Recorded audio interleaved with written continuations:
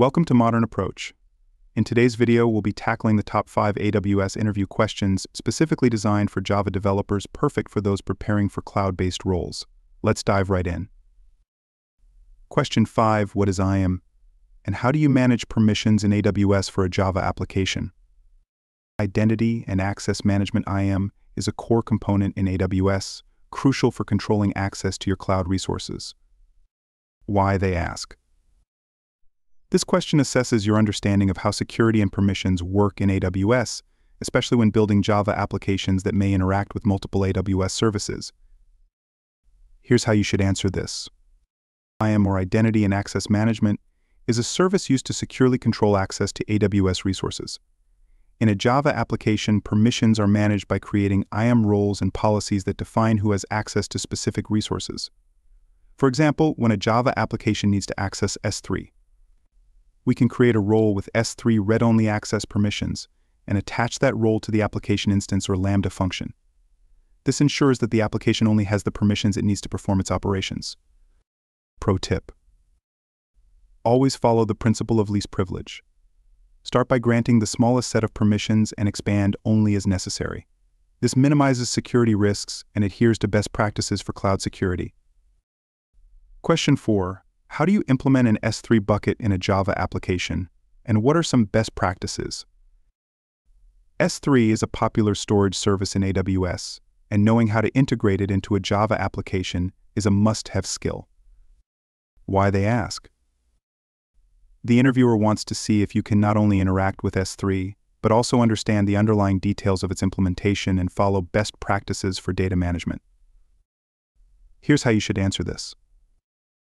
To implement an S3 bucket in a Java application, I use the AWS SDK for Java.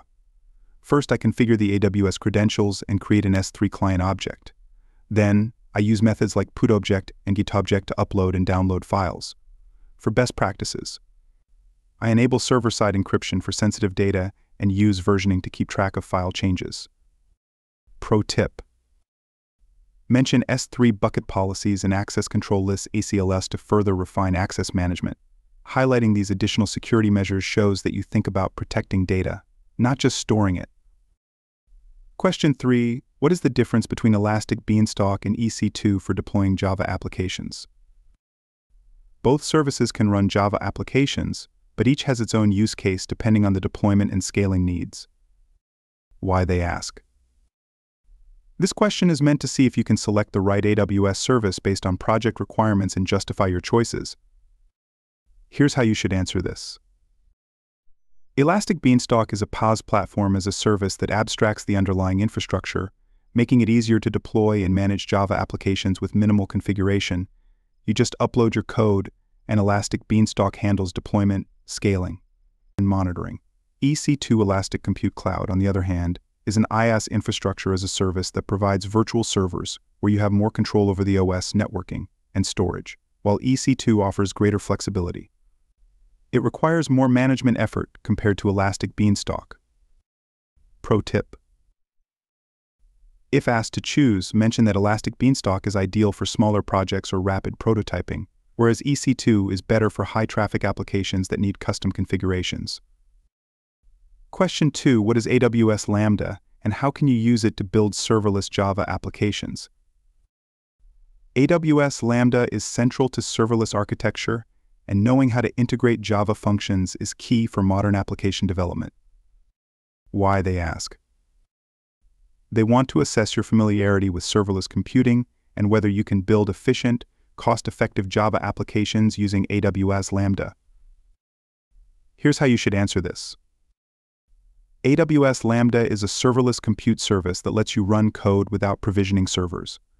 For a Java application, you can create a Lambda function using Java runtime and upload it in the form of a jar file. Lambda functions are triggered by events like HTTP requests or changes in an S3 bucket. It's a great solution for microservices or background tasks because you only pay for the compute time you use. Pro tip. Mention the importance of cold start optimization in Lambda.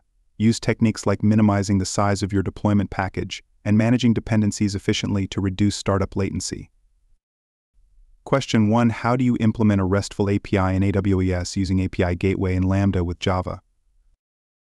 Building APIs is a core requirement for many cloud applications, and this question tests your ability to integrate multiple AWS services. Why they ask.